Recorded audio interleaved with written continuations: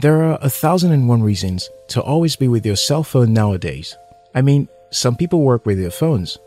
Others use their phones to get materials that can help them become better individuals and professionals. However, most people soon become addicted to their phone before they realize it.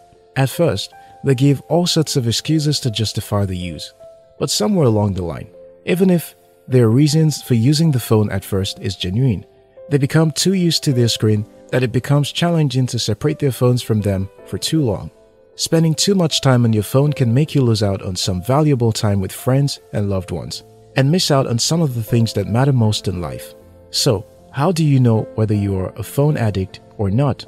Well, in this video, I will share with you 9 signs you're spending too much time on your phone. If you are new here, consider subscribing so you don't miss out on exciting videos like this. 1. You always have your phone in your hand. If people are always telling you to put your phone away because they feel it has become an extension to your arm, then maybe it is time to take a break from your cell phone. It is a sign that you might be getting addicted to your phone. 2. You feel your phone buzz even when it doesn't. Do you know that those phantom vibrations from your phone that you sometimes feel in your head are real psychological issues? Well, psychologists say it's a side effect of our smartphone addictions and expectations of always being connected. So, if you always fill your phone bars even when it doesn't, it's a sign that you spend too much time on your phone. 3. You're more interested in social media than talking to people.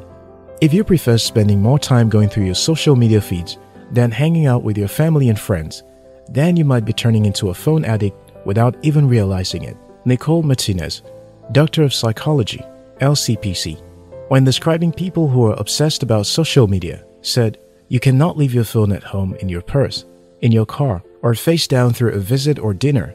You're more engrossed with what's happening on your phone than what's going on right in front of you. 4. You stopped actively listening to others. Every time you're having a conversation with others, if you find yourself constantly checking your phone to see if you've got new notifications, so much that you barely listen to the person the whole time, then you might be one of those spending way too much time on their phone.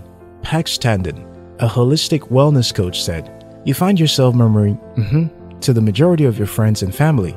It is the cop out response when we're multitasking to keep the conversation flowing, but we're not actually listening actively. 5. Separation from your phone makes you feel anxious. No doubt, we all feel the panic of not being able to find our phone, or worse yet, losing it altogether.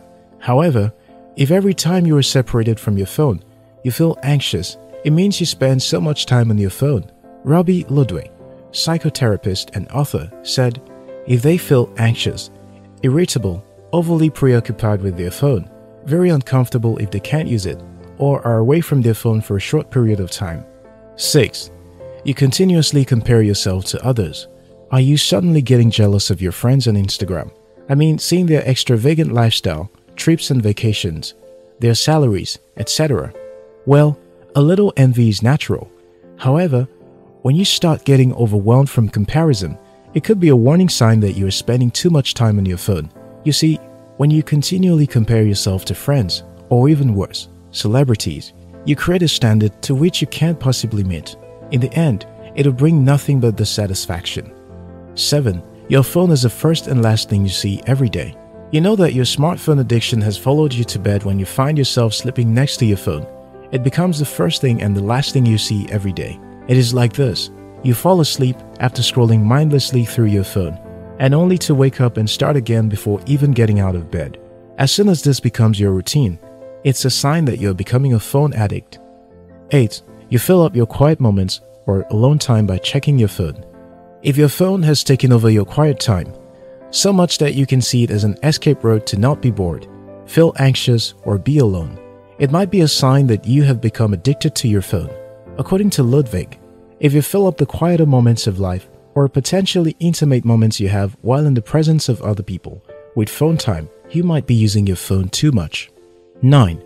You ignore people whenever you're with your phone. No one likes to feel ignored, regardless of the reason. You probably do not want to feel neglected and bored. That's why you resort to using your phone as a tool to help you out. However, if your phone begins to take the place of others in your life, then you might want to retrace that step as quickly as you can. According to Ludwig, ignoring the people that you care about to look and be with your phone is not a good idea. Giving others in your life the feeling that they don't exist or don't matter as much as your screen time on your phone can hurt your relationships. Also, note that it is disrespectful to ignore people because you can't get away from your phone for too long. No one likes the feeling, and I'm pretty sure you don't as well. Anyway, now might be a good time to consider this science to check if you're a phone addict.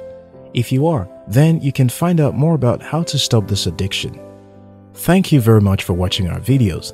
If you like this video, watch more videos on our channel and subscribe. We love you.